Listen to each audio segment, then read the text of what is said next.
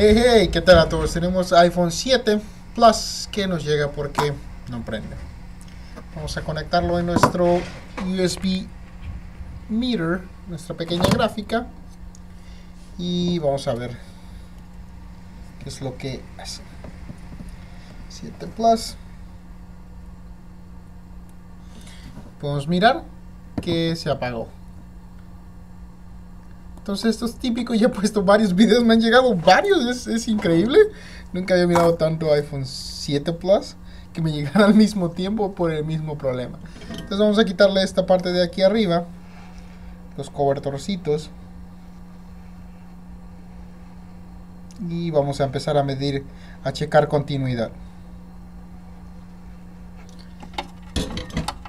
Es un poquito Es sorprendente que ya hay varios 7 uh, Plus con problemas de prender.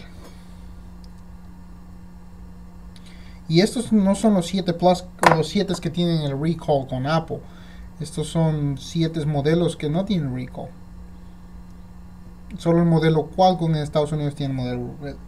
El modelo Qualcomm tiene recall que es el A1660. Entonces podemos mirar los caps Estoy tratando de verificar si hay alguno que se mira de un color diferente. Y bueno, al parecer todo está bien aquí. Vamos a checar continuidad en este cap de un lado del Wi-Fi. Sé que ese es un cap de la BDD Main. Uh, esta es una línea, una de las líneas más importantes del, del teléfono. Y obviamente tenemos continuidad en ambos lados. Que Ah, no, deberíamos de tener. Ahora, eso no significa que ese sea el cap que está dañado. Eso significa que la energía no está fluyendo en la board. La energía debería fluir sin ningún problema. Pero eso me está diciendo que la energía no está fluyendo y es por eso que se apaga. Este es como... Lo ponemos así. como, bueno, no sé las casas en, nuestros países, pero por lo menos en, donde vivíamos nosotros, allá en México, si había un corto, ah, si algo estaba consumiendo más energía, los fusibles se quemaban en mi casa, en México, cuando vivía, cuando tenía como 14, 13 años, ah, los fusibles se quemaban, ah, literalmente se quemaban, si había algo consumiendo más energía y dejaba de pasar energía, obviamente, porque los fusibles estaban quemados. Bueno, este, pongamos que tiene un fusible quemado, está regresando, no está fluyendo la energía, entonces hace que se apague nuestro USB tester. Ah, vamos a checar. Y vamos a buscar algún cap con una discoloración diferente. Y no estoy mirando en verdad nada. Nada, nada, nada con, con, discoloración diferente.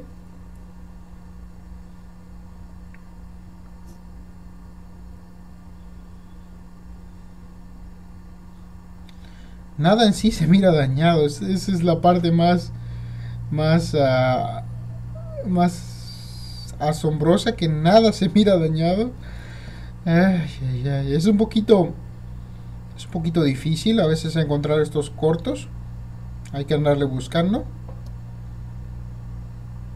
Sé que este es de la línea. Resolví un caso quitando este.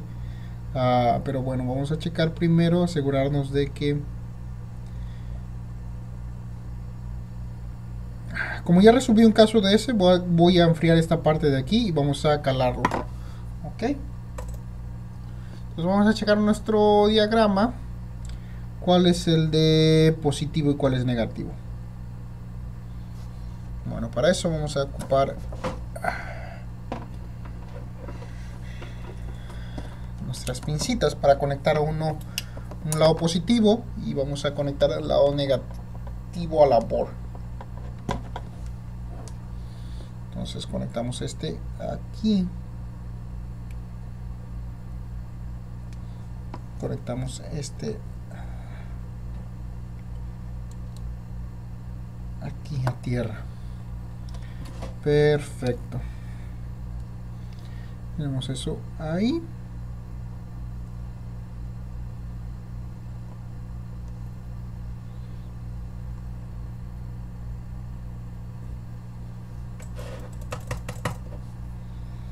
Y vamos a ponerle un poquito de...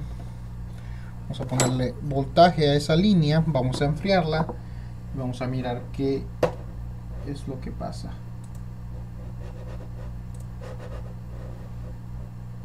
Este 7 7 plus 7 plus modelo Intel ok vamos a enfriar esta parte de aquí. Vamos a mirar si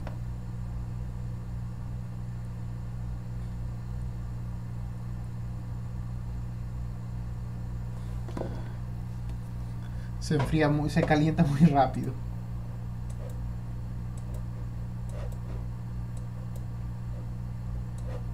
Ok, ¿cuál es el positivo? ¿Cuál es el negativo? PTT main. Positivo es el lado de allá. Ok, positivo es este lado. Ahorita miramos. Me gusta se usar el spray porque despide un olor, despide un sabor que luego queda en los labios bien fuerte.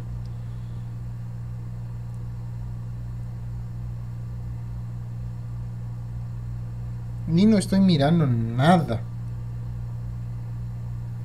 Vamos a poner un poquito más de voltios aquí. Esperemos mirar algo.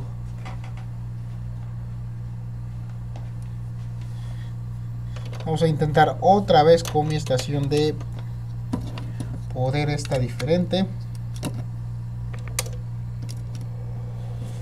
Vamos a mirar qué encontramos.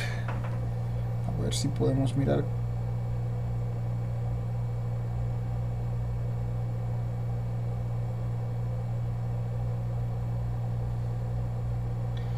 Y en verdad nada, se descongela ese primero.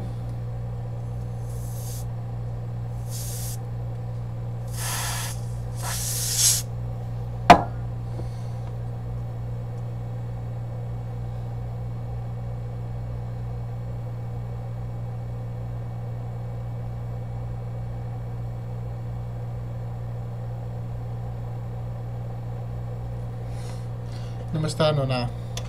Voy a tener que cambiar de fuentes de poder nomás para enseñarles eh, cómo es que muestra la otra fuente de poder. Pero bueno, vamos a checarle una otra. Otra vez.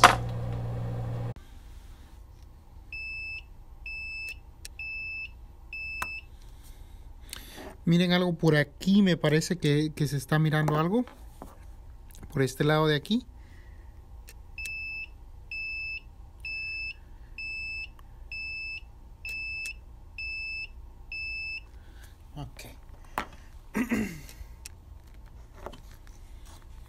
Que alcancé a mirar en la otra estación de calor, perdón, en la otra estación de, alimentación, es que en estos caps por aquí puedo mirar algo. Ahora no sé si es esta parte de aquí o si es esta parte de acá donde está el problema. Lo que voy a hacer, mirar si estos caps vienen a dar a la línea BCC main o la BDD main. Claro, uno de estos caps, según la gráfica, es de la línea BDD main.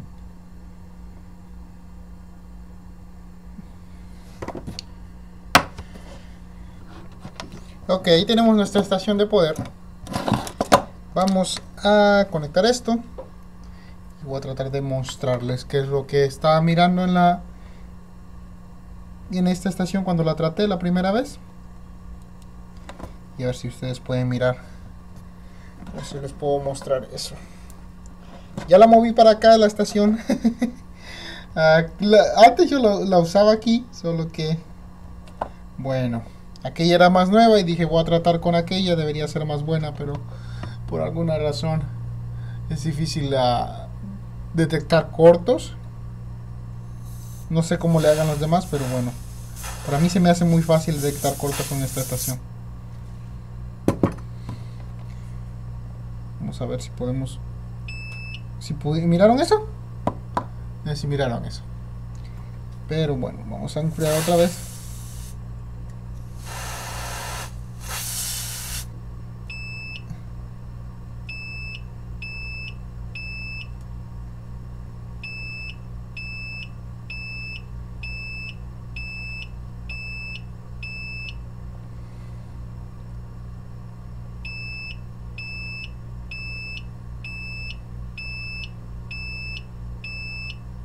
No es mucha calor, pero si pueden mirar ahí, se está descongelando ese.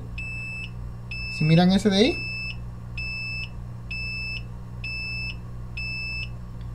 A ver si lo alcanzaron a mirar. Mm, toma bastante tiempo para que se descongele porque manda voltaje, luego deja de mandarlo, vuelve a mandarlo y deja de mandarlo, vuelve a mandarlo. Entonces está un ciclo. Entonces manda, manda, manda. Ah, perdón, manda, para, manda, para, manda, para. Entonces ah, es por eso que tarda un poquito en descongelarse. Pero vamos voy a tratar de hacerlo otra vez para que ustedes puedan mirar es ese cap de ahí que pueden mirar. Voy a ponerle aquí en positivo. Si miran de ahí, si pudieron mirar, es como se descongeló súper rápido. Es como lo puedo detectar en esta estación de, de, ah, de poder. Vamos a remover ese cap. Este sería un cap que tal vez se pueda remover muy fácil debido a que realmente los caps que se dañan, que se queman, son muy fácil de removerlos. Entonces solo voy a hacer con una navajita hacia allá y hacia acá, voy a hacer así y hacia acá y debería caerse sin ningún problema. Hacia allá, hacia acá, hacia allá y hacia acá.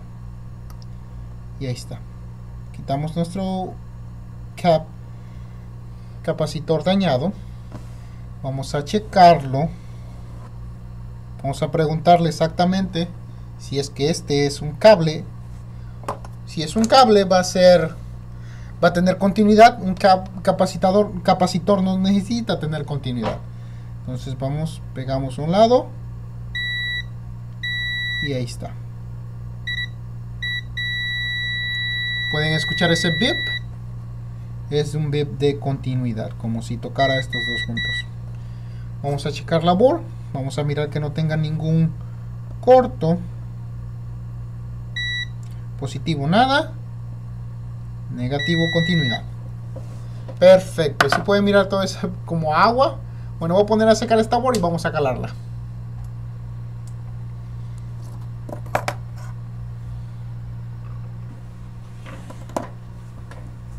Mientras se enfría vamos a quitar el cap que vamos a usar.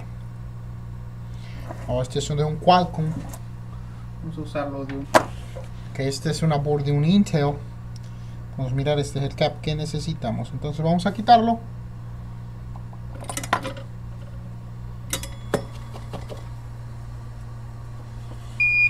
Como les digo, casi no uso las pincitas porque no derriten tan rápido. Calientan bien, pero estos caps son muy grandes.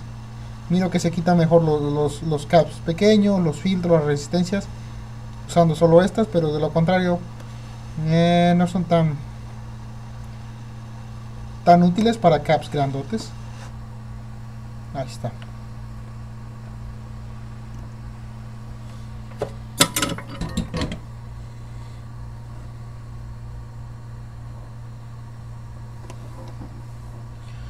Ok, vamos a mirar que nuestro cap que vamos a poner no tenga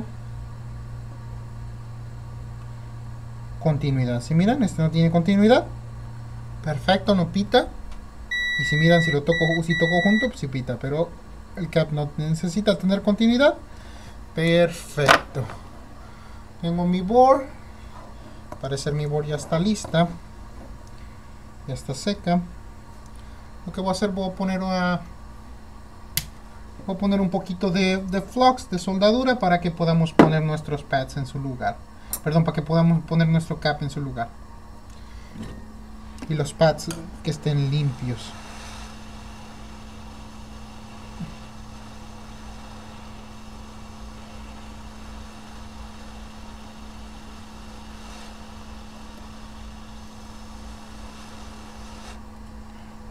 está. Poner un poquito de flux. Sin ese cap debería prender el teléfono. Pero bueno, nosotros nos gusta ponerlo de nuevo para atrás uno bueno.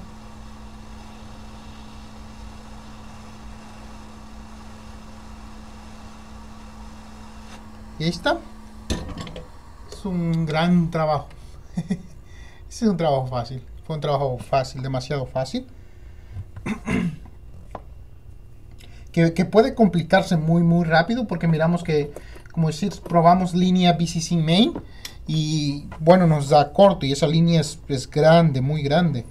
Uh, y andar buscando qué, qué, qué cap, qué hice, qué está dañado, es, es bastante difícil. Yo me acuerdo cuando empecé a buscar cortos, si no los miraba visualmente era, era prácticamente imposible localizarlos donde estaban.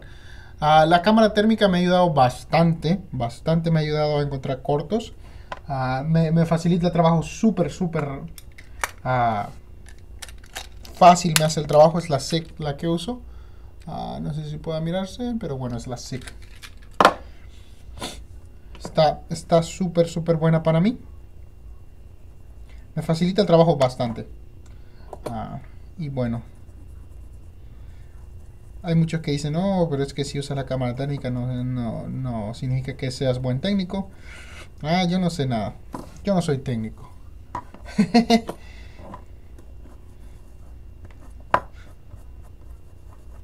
yo solo sé que puedo que este teléfono quedó funcionando.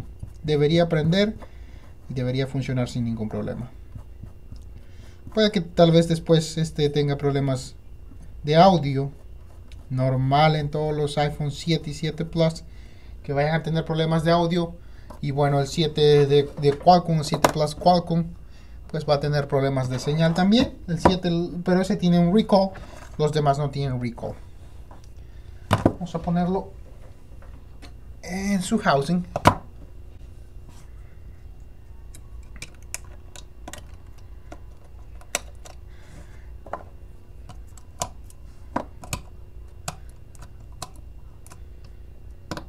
conectamos puerto de carga, conectamos a botón de encendido, vamos a conectar sensor de proximidad.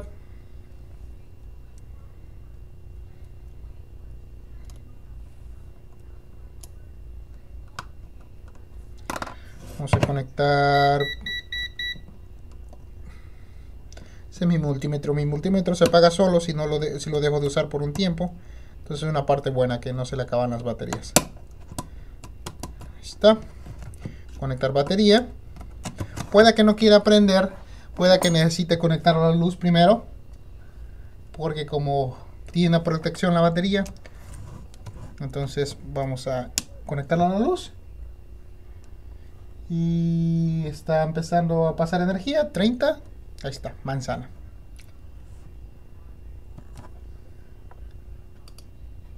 Ok, está cargando. Perdón, está cargando, está prendiendo. Este teléfono no prendía, tenía un corto en la línea BCC main, uh, corto provocado por un cap en la línea. Este es un cap, déjenme miro cómo se llama este cap.